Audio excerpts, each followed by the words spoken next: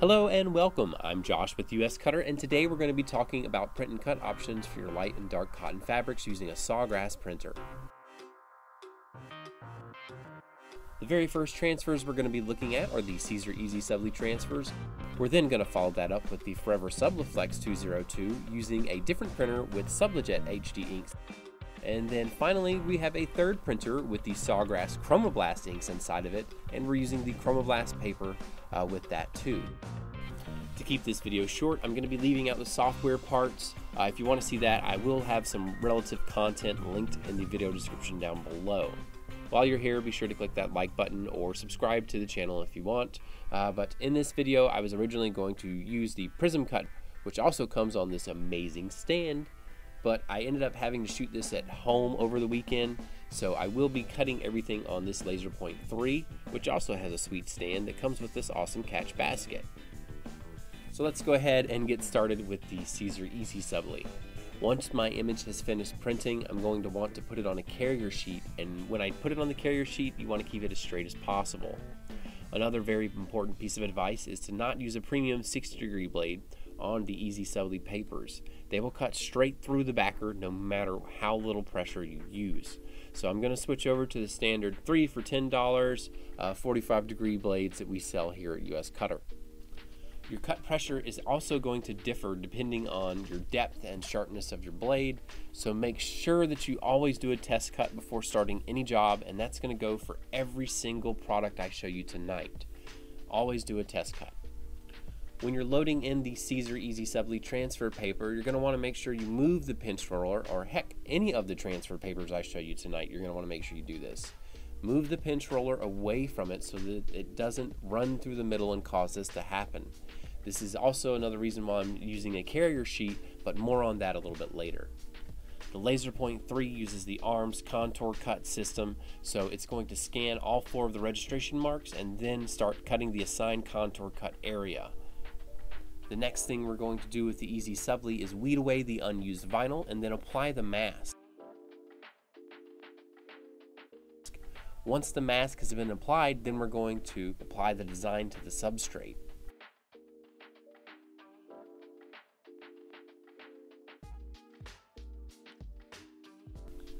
When we press the Easy Subli to the substrate, we're going to press it at 310 degrees Fahrenheit for about 10 to 15 seconds with medium pressure. Easy Subli will work with 100% cotton, polycotton blends, and 100% polyester fabrics, so you've got a lot of options with it. Easy Subli also has the softest feel out of everything we're going to see here tonight, uh, but this does cause it to lose a little bit out on the sharpness of the image quality.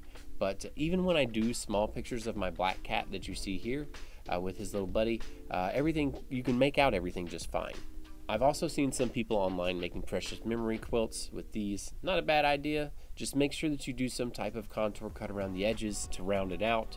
Uh, that way you can have the best results and it'll last a little bit longer. Usually if you do a square, the first thing to come up is the corners. I made a mini version of a memory quilt so you can have a little example. And uh, I put my cat and pictures of his old friend that moved away on there to keep him warm. Next, we have the Forever Subliflex 202 with the Sawgrass Sublijet HD inks. It's almost the same process here, except we're going to mirror our design before printing. Forever says you want to put down 10 sheets of paper over the transfer and then press it for 15 seconds at 360 degrees Fahrenheit. I'm going to get with them and ask them why, but I'm going to follow the instructions anyway. Once we're done with that, we're going to let it cool down, peel the backer off, and then press it again for 30 seconds with just a normal sheet of parchment paper over the top of it. Forever Subliflex is going to give you the sharpest image that we're going to see tonight, but it does kind of feel like a sheet of vinyl when touched, so you're going to want to make your contour cut as tight as possible to give it a lighter feel on your garment. Forever Subliflex is only designed to work with any color cotton as long as it's 100% cotton. If you do try something that's 100% polyester or a blended cotton poly shirt, it will attach to the shirt, but you are going to have some dye migration as you can kind of see a little bit started right here on this 50-50 shirt. Finally, we have the Sawgrass Chromablast inks using the Sawgrass Chromablast paper. With this, you can only create transfers for white 100% cotton t-shirts.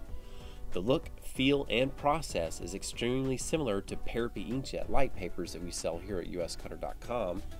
but Sawgrass Chromablast uh, gives you the Sawgrass Print Manager, and this is going to give you the sharpest looking transfers that you can get uh, from an inkjet printer.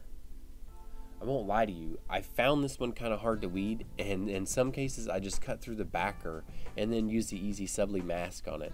And uh, but I did make sure to weed it properly, just so that you could have an example to see right here today.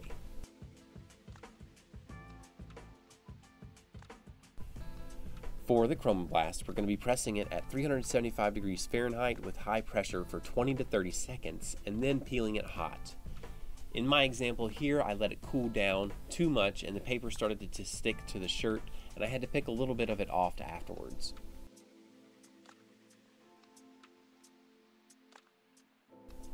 Very good photorealistic quality from these transfers as you can see, but the feel, however, is just like an inkjet or laser light paper with a waxy feel on the transfer, and you're only limited to a white 100% cotton shirts with this Chromablast machine.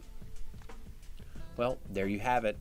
There's all three of the print and cut options for sawgrass printers that work on cotton that we have here at US Cutter. I am going to leave you with a few pro tips before we get out of here, but before I do that, I just want to say thank you so very much for watching, and as always, you can contact us if you have any product questions at sales at uscutter.com.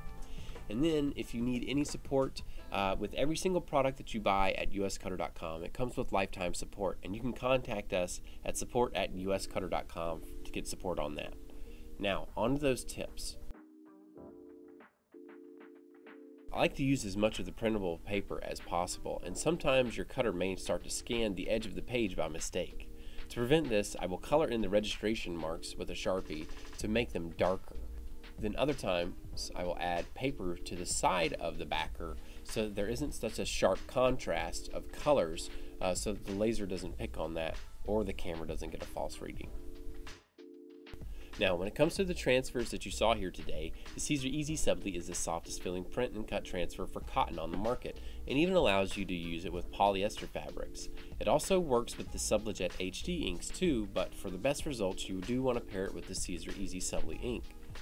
The Forever Subliflex 202 gives you the sharpest image quality and doesn't require a mask, uh, and it does work with the Easy Subli inks as well as the Sublijet HD inks from my personal experience. Chromablast gives you the extremely sharp prints for white 100% cottons, and when you compare it to a normal inkjet printer, you're not going to have anything as sharp as that.